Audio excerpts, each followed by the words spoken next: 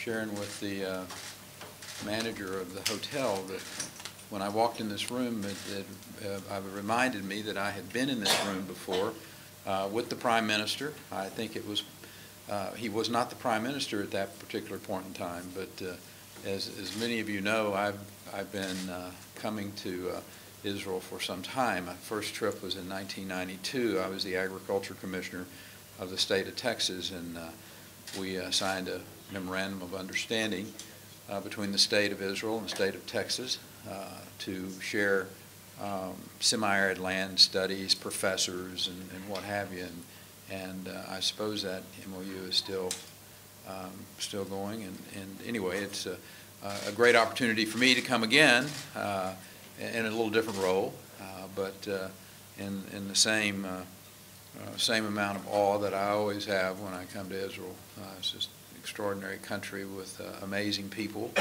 Um, I share, you know, just a side note, that uh, you can't be uh, a um, freedom-loving Texan uh, and a freedom-loving Israeli and have gone to Masada and visited the Alamo. there's, a, uh, there's a great connection to uh, uh, the state of Texas and to, uh, to the state of Israel. So um, anyway, it is, it is always a special occasion and experience uh, for me to uh, be back here as a proud member of the uh, cabinet of President Trump. And uh, uh, I recognize uh, that uh, under his leadership and the leadership of Prime Minister Netanyahu, uh, who I will see uh, tomorrow, um, I, I don't believe our bond with Israel has been any stronger, certainly not uh, in my lifetime. Um, I want to echo the President's congratulations to the Prime Minister, as a matter of fact, uh, who has just become Israel's longest-serving Prime Minister. Uh, his leadership and vision has uh, changed uh, the course of history. It has made Israel the country that it is today. The bilateral relationship between the United States and Israel, it's built on a foundation of strong economic and security cooperation. As the U.S. Secretary of Energy, I have enjoyed a productive working relationship with Minister Steinitz. Uh, as a matter of fact, uh, if my memory serves me correct, the first person who I met with after I was sworn in as the Secretary of Energy was uh, uh, Minister Steinitz. And uh, during the time that uh, we have been in our uh, our roles, uh, we have been working bilaterally in the area of energy, cybersecurity, water issues, uh, to name just a few. Over the last decade, uh, both Israel and the United States has undergone a massive transition in our energy supply with the discovery and the production of cleaner burning natural gas. Uh, earlier today, I visited the Noble uh, Energy Facility in Ashdod. Uh, it's a great example of U.S. technology, U.S. Uh, company working with Israel in this energy field. Uh, it's my hope that this is just the first chapter of a very long story of further American investment uh, in Israel's energy sector. Because of projects like this, uh, for this first time in its history, Israel is approaching energy self-sufficiency, looking to export its resources. Mr. Steinitz has said that Israel's natural gas has the potential to be a game changer in relations with regional neighbors such as Jordan and Egypt, and he is absolutely correct. This morning we met and discussed the important new energy cooperation occurring between Israel, Egypt, and Jordan. This partnership is energy uh, between these three nations. This is a, is a historic moment. Um, it's proof positive that the exchange of energy has the potential to positively impact geopolitical challenges, even those with deep roots, no matter what the hemisphere. Uh, This is why the diversity of supply, the diversity of suppliers, uh, the diversity of supply routes is so important. Again, no matter what region of the globe you find yourself in. To that end, Minister Steinitz and I will travel to Cairo later this week to participate in the Eastern Mediterranean Gas Forum. Uh, We're going to meet with our counterparts, who give us the opportunity uh, to discuss these international energy uh, cooperations. Another critical piece of our work with Israel, cybersecurity, to respond to the increasing threats from bad actors, including Iran and others. Uh, The United States and Israel are elevating our joint work uh, on cybersecurity in the energy sector, focusing on training, sharing cyber best practices, and workforce development strategies. Tomorrow, I will tour the Israel Computer Emergency Response Team and Energy Security Operations Center in Beersheba. Uh, I'll see firsthand the work that they do and the collaboration, the information sharing, the training that is done with the United States. And in just a few weeks, an Israeli delegation will travel to the United States to visit DOE's national labs to share best practices and uh, continue this collaboration on cybersecurity issues. This year, I was pleased to announce with Minister Steinitz the creation of the future U.S.-Israel Center of Excellence in Energy Engineering and Water Technology. The energy-water nexus uh, will be one focus of the center. Um, I, from my previous experiences as the Agriculture Commissioner of the state of Texas, the Governor of the state of Texas, um, I know firsthand. There is no better partner uh, in this issue than Israel. President Trump has asked me, um, or I should say he's, he's actually tasked me with uh, an effort to advance transformational technology and innovation to meet the global need for safe and secure and affordable water. Uh, I look forward to hearing directly from Israel's subject matter experts tomorrow, learning more about uh, new technologies, new advances that are being made in that arena that uh, Israel is leading the world in. So finally, I look forward uh, to meeting with the Prime Minister uh, tomorrow we have a shared friendship for many years. Uh, as a matter of fact, in this room some 20 plus years ago, he was here uh, discussing some issues that we were, were working on. I'm sure neither one of us uh, recognized that, uh, or thought even possible, that uh, I would be the governor of the great state of Texas for 14 plus years and uh, I think he's just passed over the 13-year threshold with no many, no telling how many more years ahead of him. So I look forward to seeing him and continuing a great relationship. So thank you all for coming, and let me open it up and attempt to answer any questions that you may have. Yes, sir. Thank you very Would just tell me who you are and um, your name, please. Just Certainly. Trey Yingst with Fox News. Ray. How are you? I'm great. How are you? Yes, sir. Uh, The Iraqis recently announced they're building pipelines through Jordan and Syria to export oil. Is the administration concerned about the vulnerability of such pipelines when it comes to security threats from bad actors like Iran? I, I think we, we all have, listen, we're, we're adults here, we know what the threats are, we understand who the bad actors are. Um, We're also, uh, we're, we're also very focused on um, solutions to those challenges. Uh, And, and there are a host of, of, of areas, you know, on the cyber side, on the, uh, on the aviation side, on other security uh, aspects when it comes to pipelines, as you ask about with specificity there.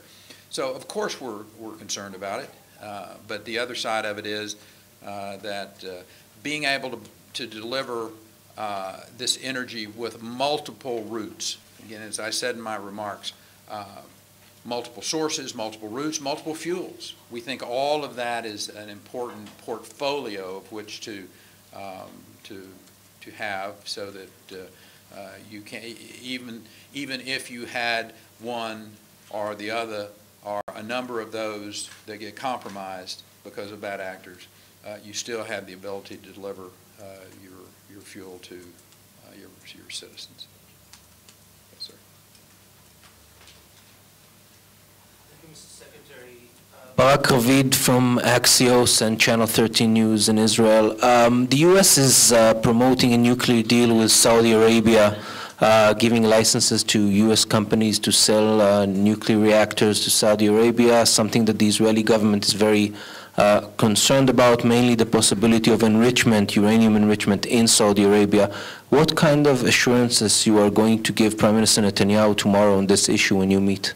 Yeah, same assurance that we would give uh, any leader uh, across the, uh, the country, across the globe, uh, is that for uh, the United States to go into a civil nuclear agreement with any country would require a one, two, three agreement. So now that's, you know, I don't want to get too far in the weeds here, but a one, two, three agreement um, would have to be signed, and that is the um, prohibition of, of, of any uh, development of, uh, of, of high-level nuclear fuels.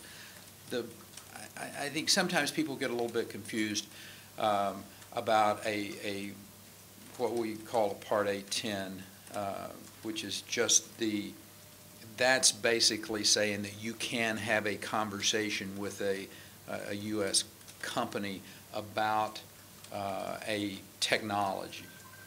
It has nothing to do with saying, okay, we're going to go forward with that. So, um, and, and here's what, here's both my personal, I think, professional, and, and I think this is the U.S. position as well. Uh, if you are going to see a civil nuclear program, no matter where in the world, the United States needs to be involved with that because of our uh, non-proliferation uh, uh, posture. Uh, you know, the Chinese, the, uh, the, uh, the, the Koreans, they don't have that non-proliferation. The Russians, they don't have that non-proliferation mentality. we haven't seen it, let me put it that way. So I think it's very important as we, in the neighborhood, we have this conversation, that the U.S. be involved, that the U.S. Uh, and our one, two, three agreement uh, be a very important part of that. So, so you are against enrichment in Saudi Arabia? Um, For the purposes of, uh, for the purposes of a civil program, we'd want to look at what their, uh, how that program would work. So, I mean, we're a long, long way away from that, but if you're making the point of, are we, uh, are, are we against the, uh, uh, uh, the, the process for something outside of uh, civil nuclear, of course. Uh, Yes. Thank you, Mr. Secretary. Noga Tarnopolsky from the LA Times. Um, I want to ask you about a wider strategic issue. In the president's tweets of the last week or so, he has mentioned Israel, if, if I'm not mistaken, daily or almost daily, in the context of um, attacking Democratic congresswomen. And I wonder given Israel's vulnerabilities in this region, given the growing legitimacy of anti-Israel actions and sentiments in Europe, um, what do you think about dragging Israel into this kind of partisan um, I- I'm- I don't wanna- I arguments don't on the on the cyber sphere? I'm not, I'm not sure I'm following your, your nexus here. I think if the, if you're saying the president is against anti-Semitism, I agree with him. That's not what I'm saying. The Okay, president has, has that. tweeted uh, attacks against Democratic congresswomen and has brought up Israel's name in those attacks, saying that if anyone, if Israel's important to the U.S. voter, they have to vote against these Yeah, I- people, against I- the Democratic Party. I'm- I'm not sure I saw that. Um, You may be taking a little bit of license there.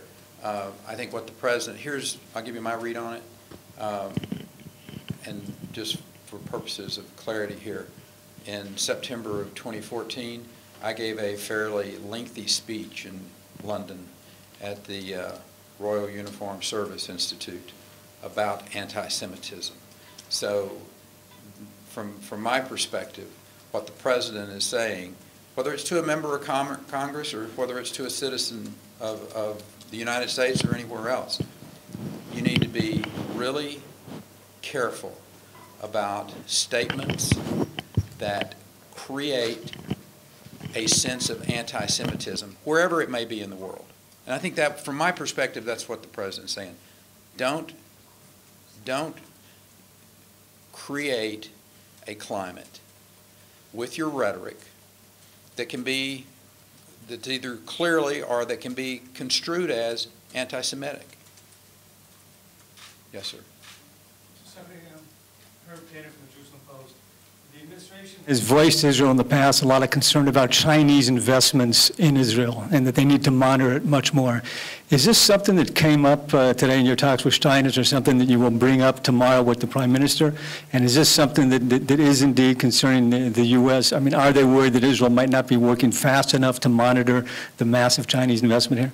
Well, he- he- here's what I think we try to um, impress upon all of our allies, is that there are areas that China is involved with, particularly the collection of information, uh, that we've got great concerns about, uh, you know, on, on the cybersecurity side of things. Uh, So I think that's the, the, the bigger issue. Um, You know, we, we want, we want our allies to be knowledgeable about um, the activities that the Chinese are involved with. We have great trust that uh, the leadership of this country will make the right decisions about, you know, any investments. There's a difference between somebody coming and investing and the issue of cybersecurity and collection of information that will go back and be given to the Communist Chinese government.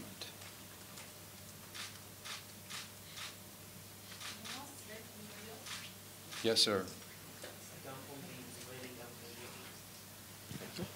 I, um, Secretary Pompeo said recently that the UK should take care of its own ships in the Middle East. Will Israel get the same uh, response if it ever got under Iranian uh, attack? I think if the question is that every government should be using their own, um, and their, and, and I, I didn't hear the Secretary Pompeo saying, and I didn't take it in the sense, if, from what I'm hearing you, that if a United Kingdom ship is attacked in the Straits of Hormuz, then that's the UK's business to take care of it. That's not what you said, was it? Yeah, he said it today on Fox News. Ah. Well, you know, then I'm, I'm not aware of, of that statement. Uh, I think we have, uh, and, and we've seen the, uh, we've seen the United States, we've seen our allies working together uh, when, uh, when some event occurs where we have either the citizens of our country or the, um, the property of our, our country. I, I, I- I'd want to take a, a closer look at his statement before I, I make any further statement, but I, I think taking care of, of our, of our allies together has historically been our, uh, our, our MO in the United States. And for that matter, um, other countries looking after uh, U.S. assets that might, they might be able to protect, so. Yes, sir. Charles Fisher, Toronto newspaper. Uh, how will the prospects of meaningful surge in oil prices might affect any decision of imposing uh, uh, more sanctions on Iran or even uh, make a bigger move on that issue? Yeah. Well, the, the bigger issue here is, is Iran going to be a good citizen uh, in the world? Are, are the activities that they're going to be involved with? The president uh, clearly has said that Iran is not a good citizen. They're not a good neighbor. Uh, The activities that they're involved with, the funding of the terrorism that they've been uh, engaged in is not acceptable behavior. That's the reason he pulled out of the JCPOA. Um, And so uh, there are two different issues here. The other that you asked about was uh, the oil market, uh, what's going to happen in the oil market, the United States and our goal. You know, it's a great story from my perspective. Ten years ago, the United States and Israel were dependent on countries to supply their energy that weren't necessarily our friends in some cases. Uh, Today, the United States is the number one oil and gas producing country in the world. Um, Israel is about to be a, an exporter of natural gas. I mean, th- those are some stunning developments because of innovation and because of, um, you know, I, I think the, the, the free market uh, mentality that's out there, you've got a U.S. company that's come in to, uh, to help you develop uh, those fields in the Mediterranean. Uh, You've seen this massive private sector in the United States through hydraulic fracturing, directional drilling, become the number one oil and gas producing country in the world.